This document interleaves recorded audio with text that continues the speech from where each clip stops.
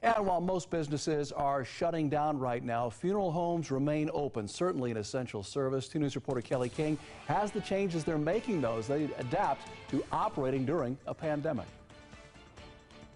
Baker Hazel and Snider Funeral Home is trying to do most of their business and appointments online or by phone. While they're still holding funerals, they're trying to limit the number of people gathering together in one place. The coronavirus has put many aspects of life on hold, but death has its own timing. We can't put death on hold. Baker Hazel and Snider Funeral Home has been comforting the community since 1941.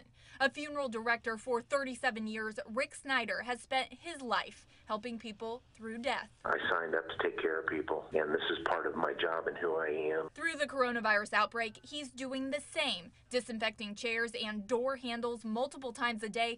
A hand washing station sits as a temporary fixture just inside the front door. It's pretty hard to do when you're used to putting your hand out and wanting to hug people. Now practicing social distancing, he's still giving people time to say goodbye, weighing all of his options to cut down on the number of people paying respects at one time. We have 50 laminated badges with numbers on them. We let 50 people in at a time. When someone leaves, we disinfect the badge hands to the next person. The online obituary and website, another way to offer condolences and help people through an already difficult time made even more difficult by a pandemic. Within reason, we'll do whatever we need to do to make sure they've got an opportunity to, to uh, start grieving. The funeral home says a webcast is also an option for families who request it.